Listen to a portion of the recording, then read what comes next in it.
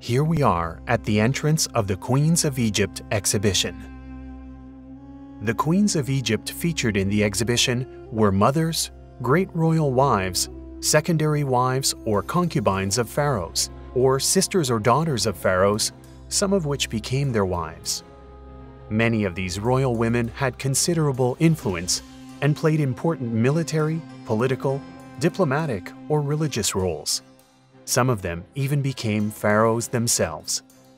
The exhibition focuses on seven queens who lived in the New Kingdom period from 1539 to 1076 BC, during which the Egyptian civilization reached its height and queens gained in status and influence.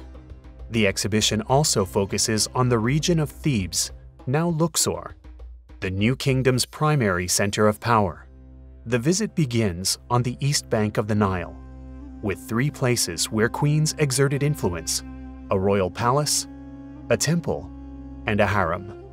Then we cross the Nile to visit three other places the Valley of the Queens, where many royal women were buried, the village where the artisans who built the tombs lived, and Queen Nefertari's tomb.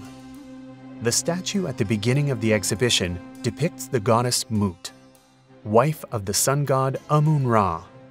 As wives of the pharaohs, who themselves represented the divine on earth, the queens of Egypt were often closely associated with this goddess. In fact, one of the queens featured in the exhibition, Nefertari, was called the Beloved of Mut.